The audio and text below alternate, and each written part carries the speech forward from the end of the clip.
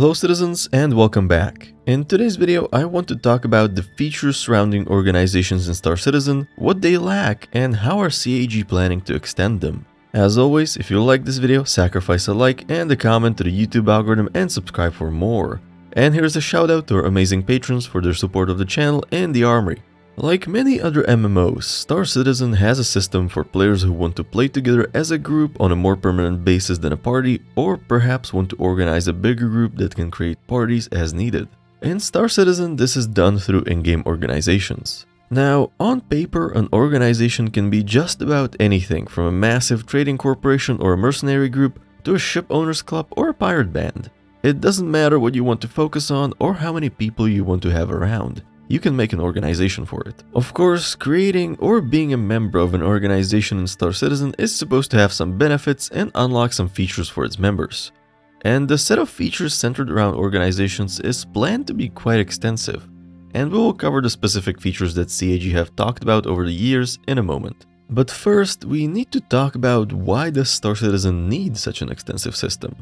As you may have noticed, CIG is very much trying to push players to operate as a group. And in order to make that possible, they have to do a few things first. First of all, they have to create a system of joining and managing a party in-game as well as joining the game together as a party. This system already exists, and it's actually pretty good.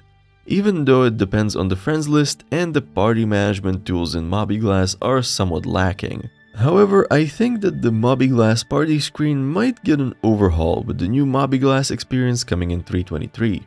But what I'm currently lacking is having all the members of my organization visible in my friends list or in a separate list. Next, there has to be a way for players to communicate as a group. And here I will actually take the somewhat controversial stance that in-game comms don't need to be that complicated. The current system is actually pretty okay. We have global chat, but you can also switch to party chat or ship chat. Though I would agree that there needs to be a better UI for this. The game also has voice comms built in, and I think these are a bit lacking. But all we really need is proximity chat, ship intercom, and hailing other ships or players. Technically, all of this is already implemented, but I have never seen all of it work correctly. So maybe it just needs a bug fixing pass and it will be good to go. However, any larger or more coordinated groups will probably use an external communication tool. This not only provides redundancy in case the game crashes, but also tools like Discord are specifically tuned for this, which will generally result in better performance and experience. Also, Discord and Guilded allow the group to have text channels and other useful features for communicating outside of the game session, which is vital, especially if you're trying to run an organization. Some larger groups may require more complicated comms, especially for activities involving large numbers of people. There are tools for this, but the actual implementation would be very different from each org depending on their specific needs. Every organization in Star Citizen also gets their own section on Spectrum, but I'm not sure how many of them actually use this, but it's nice to have the option. And finally, there needs to be content that requires a group to complete and is compensated well enough to make it worth it. Now, determining payment for group activities is very difficult. Yes, on paper it's just multiplying the income of a solo player by the expected size of the group. But there are two problems with this. First, how do you determine how much does a solo player make in a certain amount of time? This is problematic because the number varies greatly from player to player. Player income depends on the activity the player is doing, ships they own and how quickly they work and how much experience they have.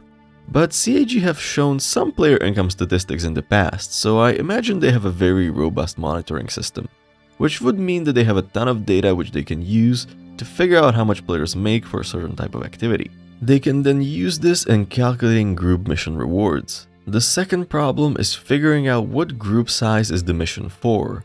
But for that you can use a similar method as mentioned previously, but I am not sure if CIG keeps statistics on that. But if they have records for how much players made for what mission, I think they can calculate the group size. The currently ongoing Overdrive initiative is actually a great example of a well-designed event. It offers variety which increases potential engagement. It offers competitive rewards which lure people in. And it also has enough replayability for groups of various size. And supposedly it has a global impact, so even larger groups are interested in playing on a large scale. So we know that CIG have the basics of a good organization system, but that's not all. There were a few more features that were promised, and these additional features are crucial in building the global power play CIG expect to create using the org system. So let's go over these features in more detail. The first and the most important is the ability to share items and funds through org item banks. What I would also like to see is the ability for the orgs to distribute items to their members. This would be very useful for orgs that have a standardized uniform. Item banks are coming with 323, but as far as I know these only extend to the player's inventory. But I think it would be pretty easy to extend the system to allow players to access a shared inventory for each of their organizations. Next, to facilitate the power play mechanics, there needs to be a system of area control. But I don't think that CIG will go about this the way we expect.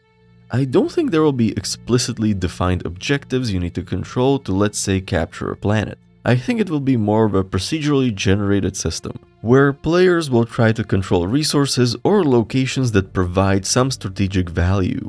This could tie into the base building system, where groups will try to establish bases and outposts near these areas and try to maintain them. Bases themselves could become an objective. Let's say if one group builds a major resource extraction or processing facility, another group might be interested in taking it over or stealing resources from it.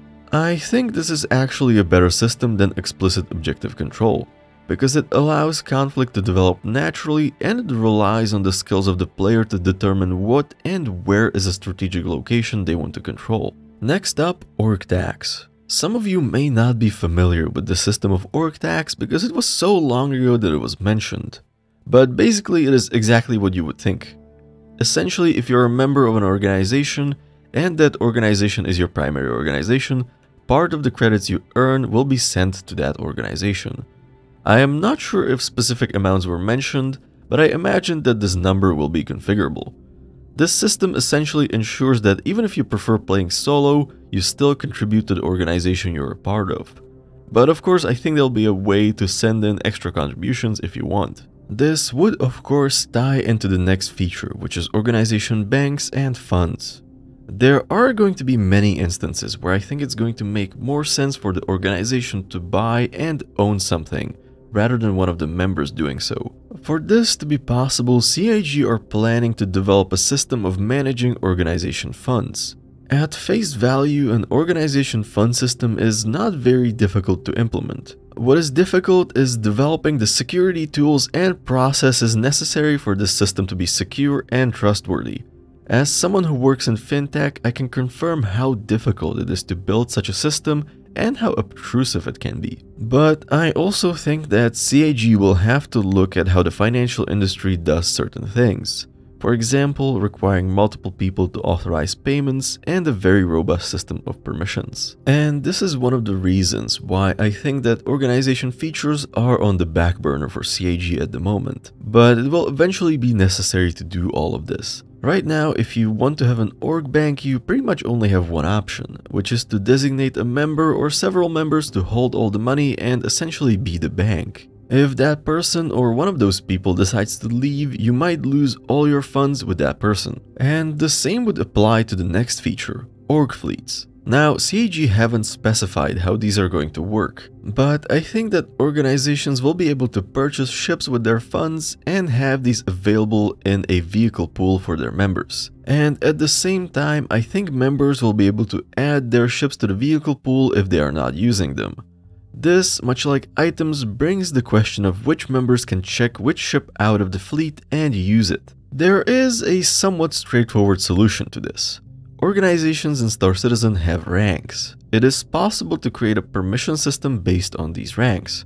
For each ship, you could assign a minimum rank the member needs to call that ship from the org fleet. If you wanted to be fancy, you could extend this system. First, to guarantee that ships are returned to the fleet, I would make them work similar to rentals but without charge. So you could set the maximum rental duration for each member rank. If you want it to be really fancy, you could create a system where the organization can create multiple pools of ships and assign permissions based on that. We will see how far CIG take this, but I think that in order to create a successful set of organization tools, they will have to put in a lot of effort and implement a fairly complicated system based on requests from the community. Now, there is one more piece missing, reputation.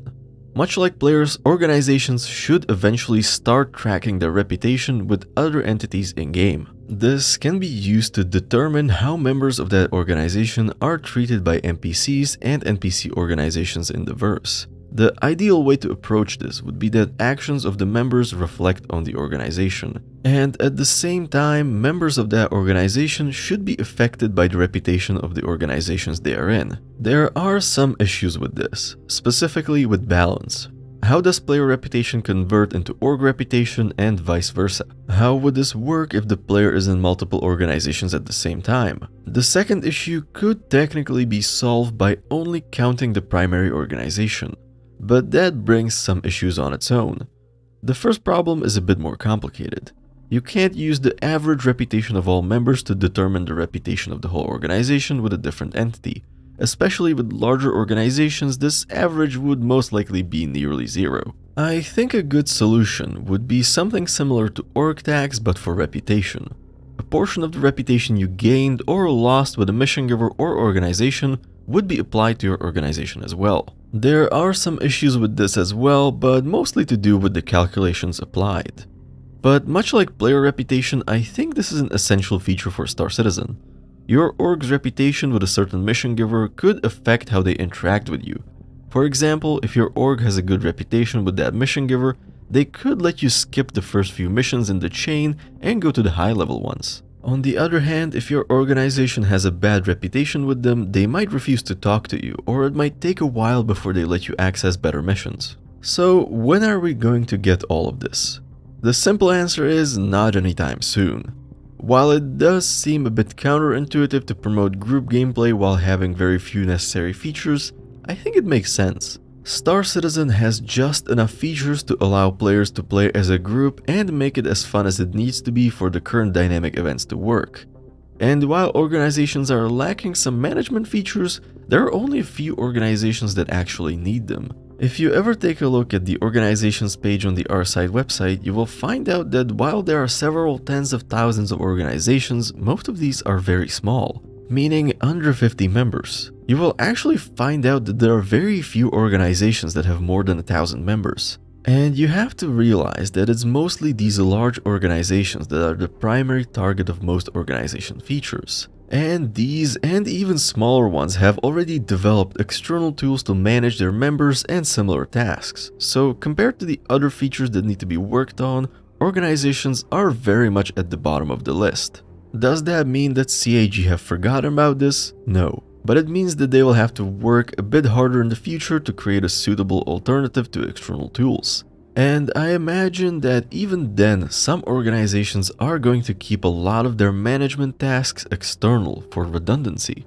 But I think that every organization is going to use the fund, item, and ship sharing features. And with that being said, that's all for tonight. What do you think? How far away are organization features? What other features would you need for your organization? Let me know in the comments. Thank you for watching, fly safe, and I will see you in the verse.